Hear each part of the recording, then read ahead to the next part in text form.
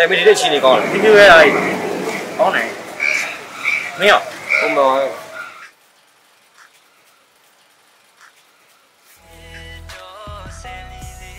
အဲ့ဒီဟေ့အောင်ဟေးအမေရောဘာဖြစ်ဒီမှာလေးကွာဟောမင်းသူ့ဖန်ဟုတ်တယ်ငါသူ့ဖန်လိုက်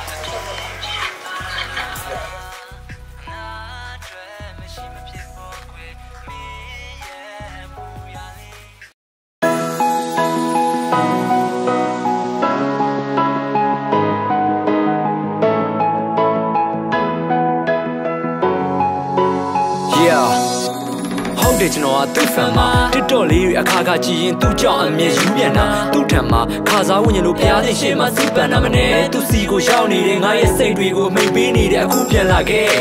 ယူပြန်တာမနဲ့ရင်ဘွားကဆူတောင်းကောင်းတာသူ့ကကြမှာပဲအရန်ကိုချစ်ဖို့ကောင်းတာပက်ကွက်ကလေးနဲ့ကလေးလေးလိုချော့သိတ်ချင်တဲ့ပက်ကလေးလွယ်တစ်ချက်ကလေးပြုံးပြလိုက်ရင်ကျွေလောက်တဲ့တက်တက်ကလေးနဲ့ကျွေလောက်တဲ့တက်တက်ကလေးနဲ့တော့ဆယ်လေးရဲ့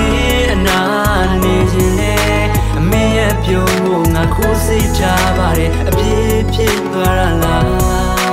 ငါအတွက်မရှိမဖြစ်ဖို့ခွဲမင်း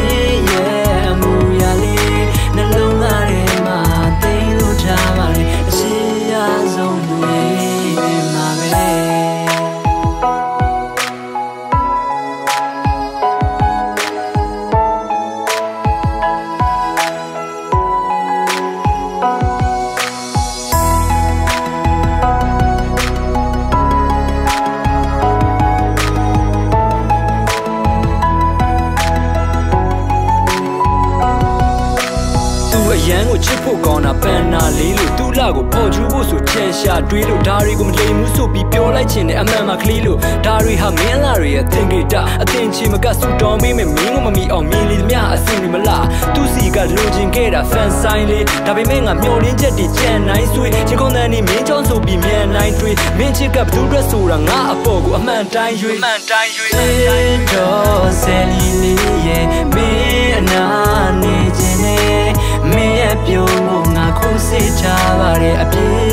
သွားရလားငါအတွက်မရှိမဖြစ်ပေါ်ခွေမင်း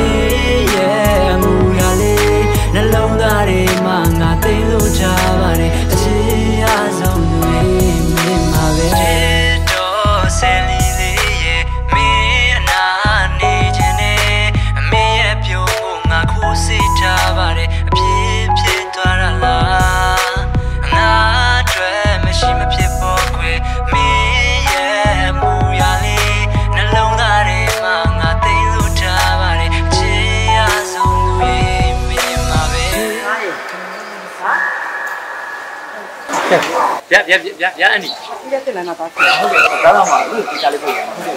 အမေအတော့တော့စေတော့ဆယ်လီလေးရဲ့မင်းအနာ